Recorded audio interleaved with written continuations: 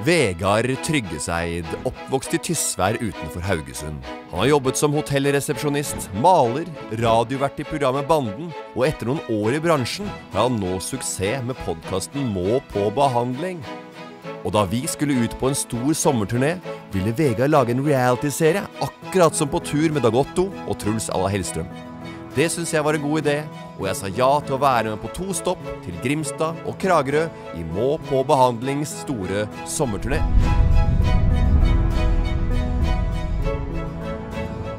Salthagla, er det et kallenavn? Å ja, du skal ha en liksom halvliteren eller belgiske hane eller hva det er? Mummeren, kan jeg gå for det? Ja. Mummeren. Det kalles meg for Mummeren.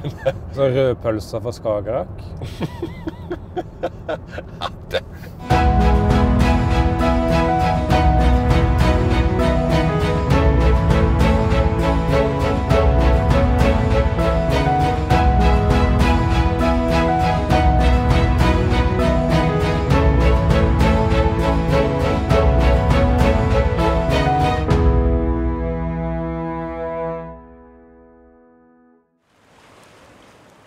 Den store sommerturneen fortsetter, og vi gjør et siste stopp på veien til Skrallfestivalen. Og Vegard har hatt ansvaret for å booke gjester til showet. Sender du en melding Skal vi ha til den, eller? Nei, sender du en melding til Sushi og Kobe og spør om de er klare? Ja, Men kan du Nei. stå der ute Send en melding. så late som vi har kjøpt? Nei. Forhindre ising. Og så sier du Har du sett på været, eller? Kort innpå om froskveks... Kort innpå om frostveskevitsen. Frostveskevitsen. Det som gjør vitsen, er at Morten sin bil ikke trenger frostvæske akkurat den dagen. Men en interessant sidevits er det at Morten er det at det Mortens bil trengte den dagen, var Autoglym, et produkt vi sto rett ved siden av. Rett ved siden av. Autoglim er et produkt man setter i ruten på bilen, og så vil det kom, samle seg skuelystne rundt bilen pga. autoglim, og de, og de vil spørre Hæ? Hva er autoglim?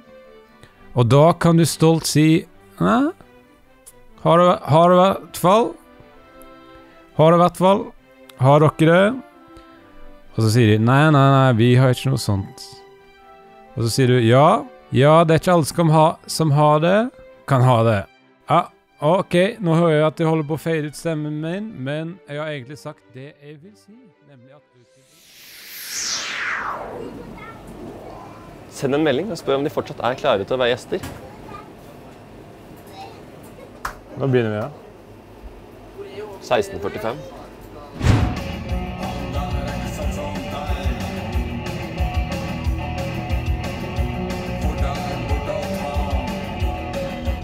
Sånn.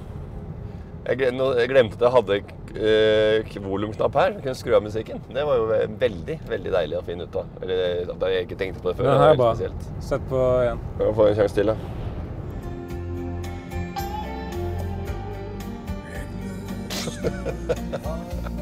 Nei. Sett på noe normal musikk, da. Hallo? Som dere skjønte, ble det litt amper stemning i bilen. Jeg klarte ikke lenger være en inkluderende og positiv reiseleder, men heldigvis var vi framme i Grimstad. Kjør, Dag Otto. Ja, hei, hei.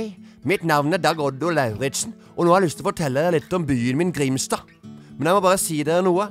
Dette er ikke Dag Oddo, men Morten Ramm som parodierer Dag Oddo. Egentlig er det Jon Brungot som har en artig parodi på Dag Oddo. Så dette er bare en parodi av parodien av Dag Oddo, som Jon Brungot laget veldig bra i torsdag kveld fra Nydalen. Men Grimstad er en fin by, og et artig navn. En Grimstad. En stygg by. Men det er ikke så morsomt som en by i Buskerud som heter Skrukkefylla. Eller Sædingsklubben utenfor Karlsøy i Troms. Hva faen? En klubb som sæder. En gjeng med gutter som starter en klubb som sæder ut av pikkene sine. Det er helt rått. Jeg og Tor hadde en sånn klubb en gang, men vi var bare to i en sånn wankeduo. Det er det kanskje én plass vi burde flytta til. Et lite fiffig sted rett sør for Grimstad. Det heter Runken. det heter faktisk Runken. Dæven døtte sykkelstøtte. Jeg ser for meg oss to nedi der. Å, fy faen. Runke med pikkene våre. Hvor mange var det som var her i fjor, da? Nei, det var 13 000-14 000. Såpass, ja? Så mange? Så mange. det var? Jeg trodde det var kanskje 1300-1400. 13 000-14 000. Hvor mange besøkende var det i fjor? Jeg tror det var rundt 14 000. Nå er alle det samme. Så mye? Vi har tatt det opp. Ok. Og dette rommet dette er uten badekar, for det ba jeg om. Det er uten badekar. Yes. Han ba jo. Tusen takk. Her ser jeg nok en gang i kamera, akkurat som Truls Svendsen og Christian Ødegaard. Det funker hver gang, og når du først har begynt, så klarer du faen ikke å slutte. Kort innpå om badekarsituasjonen. For de fleste vil badekar på hotellrommet være et positivt element. Men for meg minner badekar meg om en uheldig hendelse fra tidlig i ungdomsalderen. Da jeg skulle bade hjemme hos, hjemme hos besteforeldrene mine. Jeg spruta litt vann på baderomsgulvet, bare på pur kødd, og jeg ropte på besteforeldrene og sa at de skulle komme opp og se. Se, deres barnebarn har gjort et spøk, ropte jeg. Og, ba, best, og bestefaren min sa, men i faens, prøver du å drukne oss alle sammen, er det det du vil? At vi alle skal dø på grunn av at du skal ha litt vann på gulvet? Hvis du er så glad i å bo i havet, så kanskje jeg skal lage et hus under vann, så du kan alltid ha vann på badegulvet.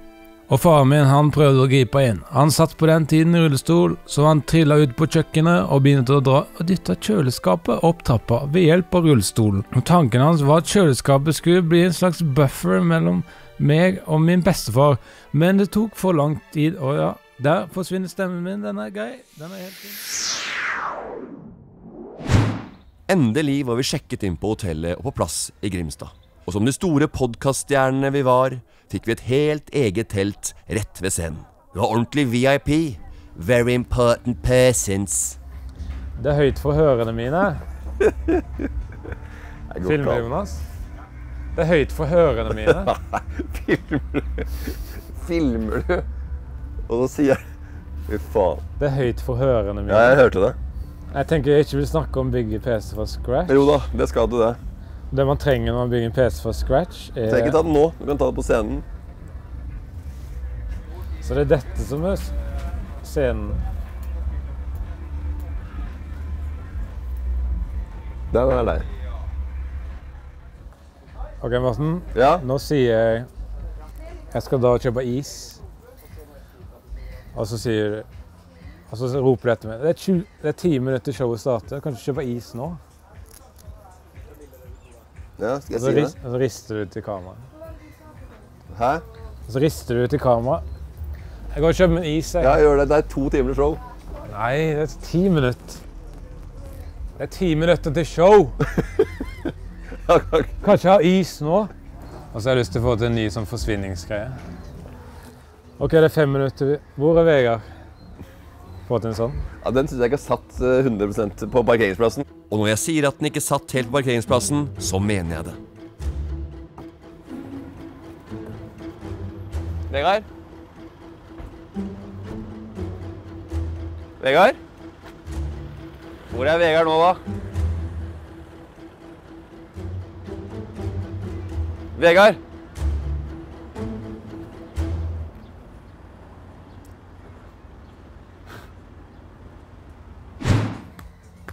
Jeg syns den eneste gangen du har vært sånn oppgitt eh, over reisepartnere, som er viktig i reiseprogram Den eneste gangen du har fått det til i dag, var at vi skulle ta bilde av meg med busstegnet også. Busstasjontegnet. Ja.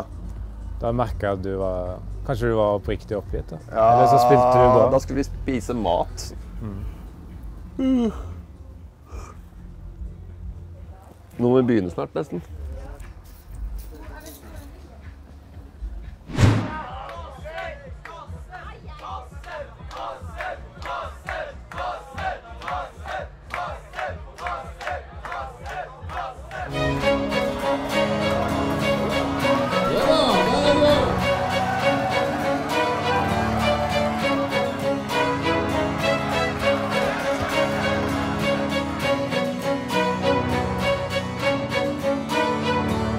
Boy, I might have brought you into this world, but you're gonna have to live in it.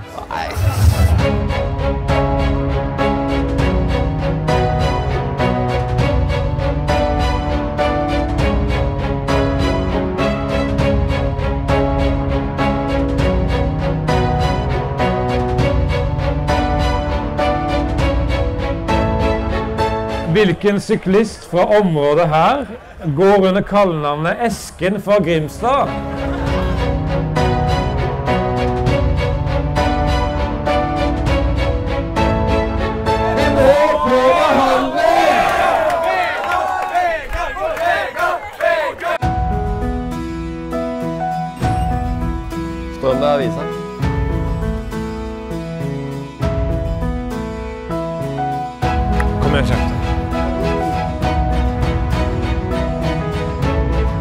What's the game plan, catfucker?